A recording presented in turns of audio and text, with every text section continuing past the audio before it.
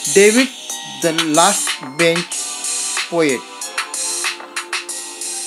presents by hook or by crook.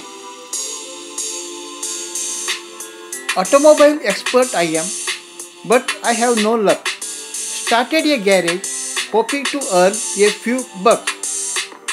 Since I started, I have had no work and soon I didn't have money to buy even Bombay duck.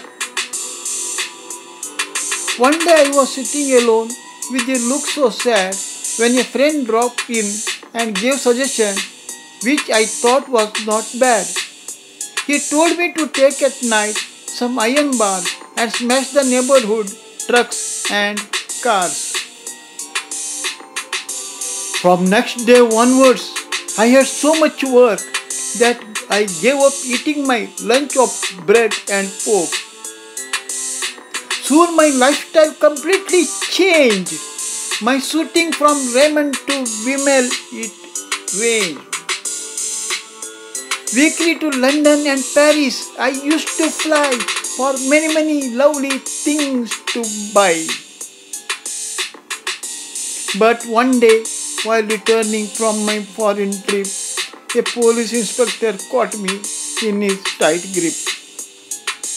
He took me directly to the police station, and so today, David, the regular plane traveler of our nation, he is passing his time in jail, not having money even to travel by rail.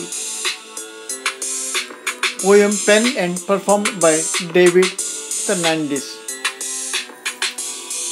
Friends, to get more poems, poetry in English, Hindi, and Konkani, please subscribe, share, and comment. David, the last bench poet. Thank you.